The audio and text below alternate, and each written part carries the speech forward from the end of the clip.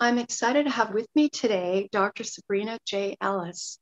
She is a personal growth coach, mentor, keynote speaker, author of three books, and former pastor. And she's here today to talk about her book, Wife Life, and share some financial health tips. Welcome, Dr. Ellis. Thank you. I am so pleased to have been invited and to be participating with you today yes, finally we're here after so many times. but you know what? We're here, and that's that's right.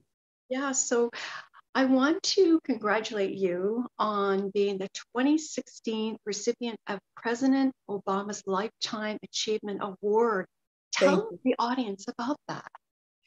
Well, um, I was surprised when I was selected, um, but excited. And um, um, it was more or less representatives from his office um, that were handling that particular um, um, reward and award. And and so when they came to cleveland um, it was an exciting time and presented the certificate and just talked a little bit about why I was receiving it. And it had more to do with my work in the community, um, uh, just reaching out to the community and and serving the people in Cleveland. And so I was I was really excited about having it. Yeah, said it was the chief visionary officer of Free to Thrive. Is that correct? Uh, that is the, that is what I um, am operating as now and what I'm doing mm-hmm. now. At the time um, of that uh, award, I was uh, serving as the executive pastor of, of our church, and um, I was responsible for much of the community activities mm-hmm. that that we were involved in. So oh, that's yeah. wonderful, Dr. Ellis. I mean, as I said before we went live or recording here, you have such an impressive resume. I mean, I I mean, the audience is going to be in for a real treat if they're not already. Um, but I like to talk about your book, Wife Life, and what in that was launched in 2019. Is that correct? Is that correct? Correct. Yeah.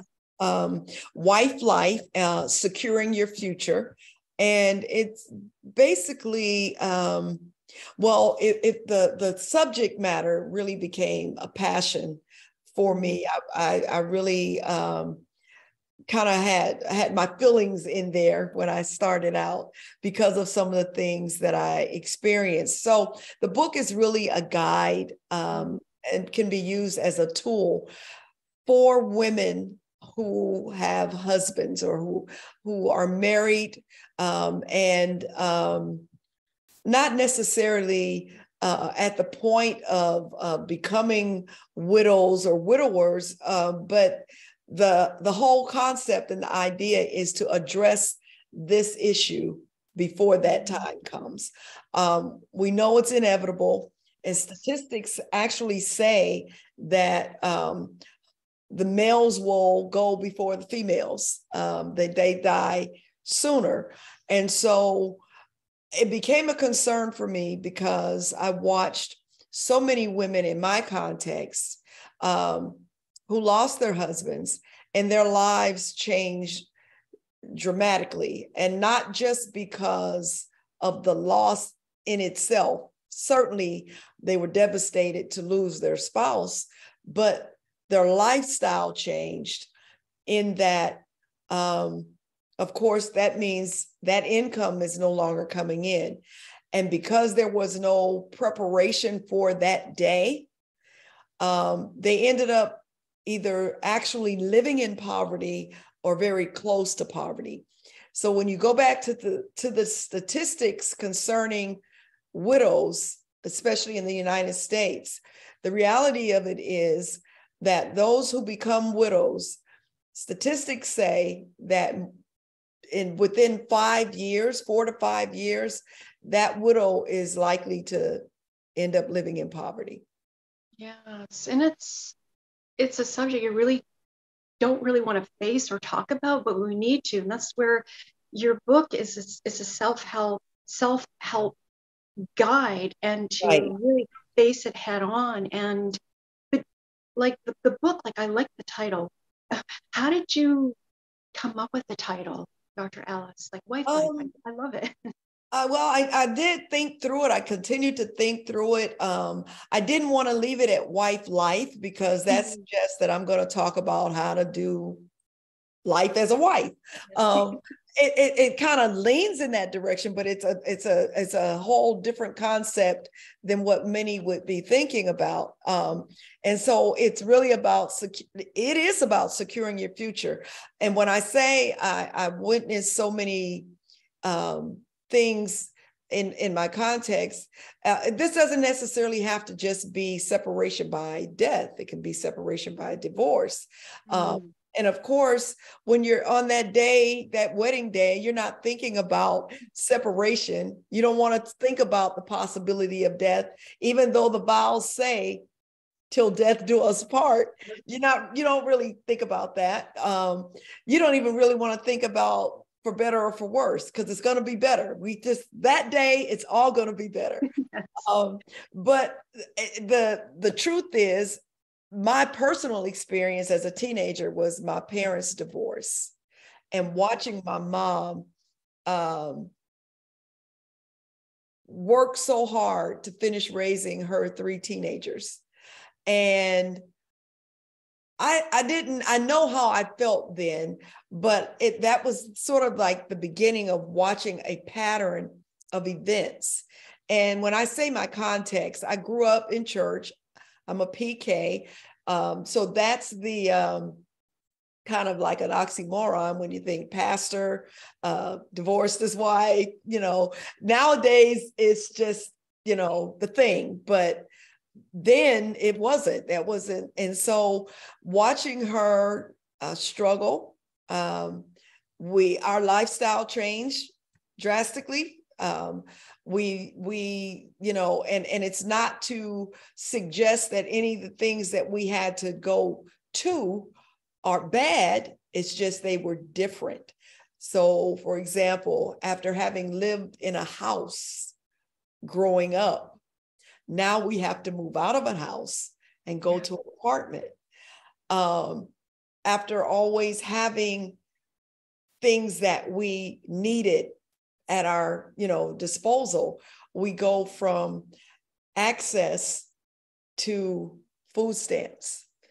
Mm-hmm. Well, card now, but then it, you know, so you you get what I'm saying, how different, how how major the changes were and then from there just watching other women um, whose husbands passed and how differently their lives became and when i started looking at it um, it was not a couple of years ago maybe just before the pandemic um, uh, friends of ours uh, well the husband passed away and the wife was left t- to total devastation. I mean it was really really bad. And I was, even though we were frustrated about how he left her, in the back of my head, I'm thinking, well, how often are we gonna, what we, meaning women, gonna let this happen? When do we wake up and take care of ourselves? and there i think there's a way to do that even even if it's no more than being aware and then having the conversation with your spouse your mate to talk about it. Um, I know everybody may not be able to have that an easy conversation, but you, but you have to start somewhere. And if it looks like it's not going to be easy, that should be a signal that you need to be doing something for yourself. Yes, yes, absolutely. And I mean, so how how can we start? Like I think like financial health tips, Dr. Ellis, like have a budget, um, you know, just you know, have that talk um, but what else like would you suggest? Like well, let me let me be clear that they're suggestions because I am not a financial planner. I am not that financial expert. What I did do though is I in in trying to get my own house in order, I did spend time with financial planners and those who uh, were uh, specialized in insurance and those kinds of things. So, I first of all, I would recommend, highly recommend, um, a financial planner if you don't have one. And unfortunately, mo- uh, many times people think, well, that sounds like that's something for people with a lot of money.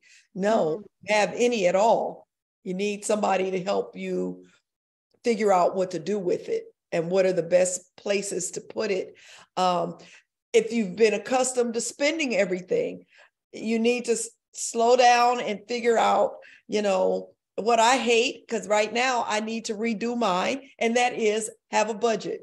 Yes. Well, a lot of people don't like to talk about it. It's a bad word, but it's helpful in your planning.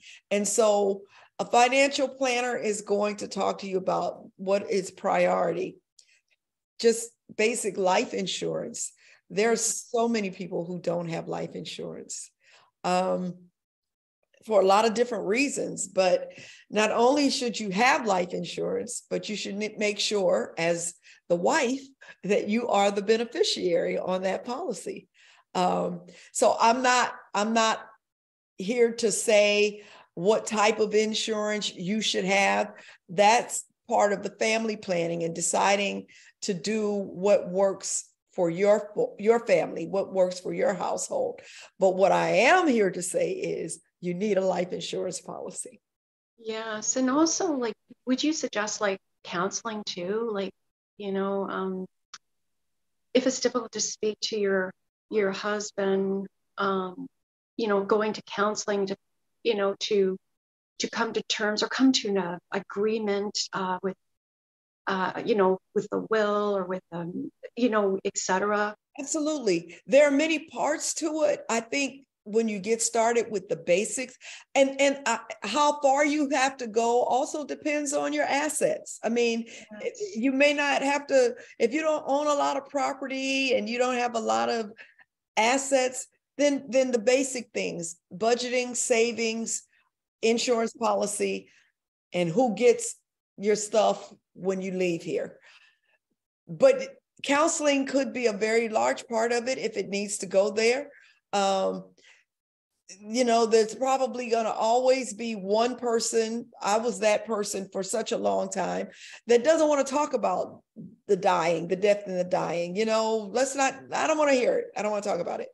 But then you get to a place where you realize maybe we should have this conversation because then we can do all the planning, put everything together, and just pack it away. Just put it away. And then when it's time, it's there. Uh, yes. Uh, but there are so many pieces to it um, when you get down to it. Be, they're, they're the legal parts and pieces that should be addressed.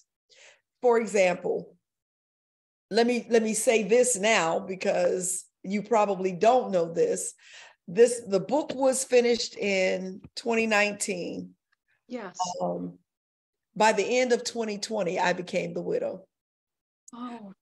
Totally unexpected. Um, just blew me away. And there were days that i felt like maybe writing the book i jinxed, jinxed myself or something but I, I know better than that. But what i wanted to say as it relates to that um, my husband and i we we were selling our home. We were in the process of finishing all of that. Um, and I think it ultimately sold maybe a couple of months after he passed. We had moved to another home.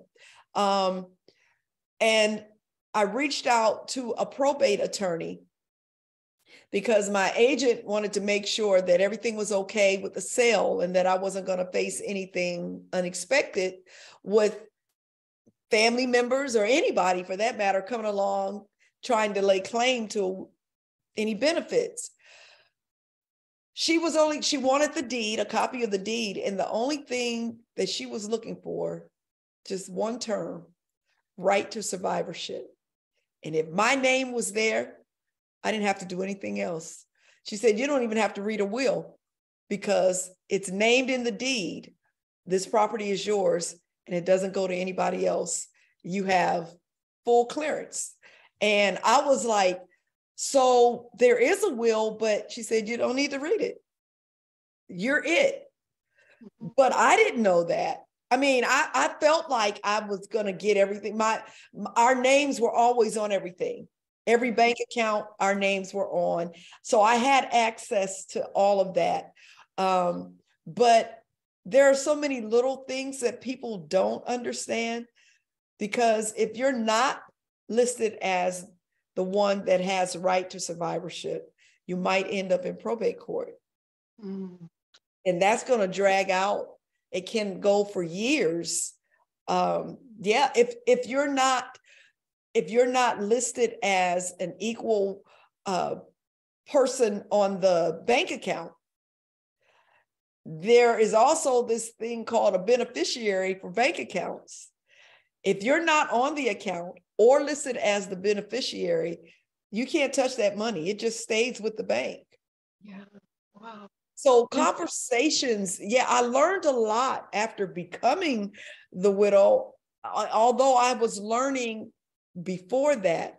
So I knew that once my husband passed and I learned this information from a probate attorney, I went to the bank now and made sure that my daughters are listed as beneficiaries.